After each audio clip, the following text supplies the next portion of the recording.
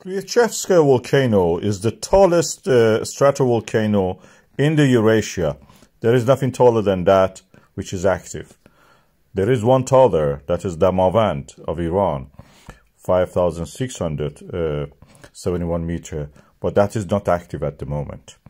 So Klyuchevskaya is the record breaker, the tallest and gentlest in that sense because this is very felsic. It's formed in the Kamchatka Peninsula, subduction of the oceanic crust under the Eurasian plate create this and uh, this is the eruptions that we see all along the Kamchatka. Russian scientists monitor these volcanoes uh, regularly and we can see them here at the height of 3,000, near 4,000 meters, uh, setting up their equipment, solar panels, and uh, telecommunication devices just to make sure that nothing is missed. And they are, in that sense, very good at what they do. Russian Academy of the Science and the geologists of that uh, institute are very capable of doing uh, this kind of harsh missions. This is in the springtime, as you can see in the autumn and winter, the, the weather is treacherous.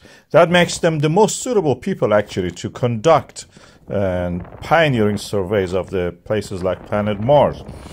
They are fit for this, you know, purpose and they can survive. That's the most important. They are survivalists. Listen to what happened in this eruption.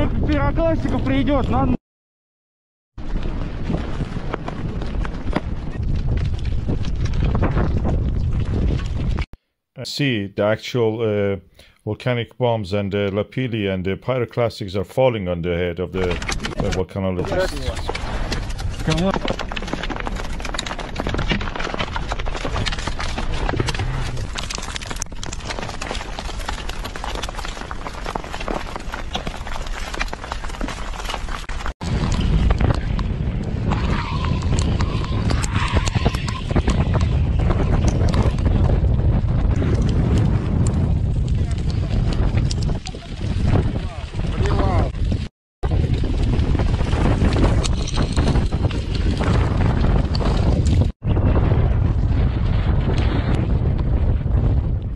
I cannot stop watching this video. It's so fascinating. They survived it.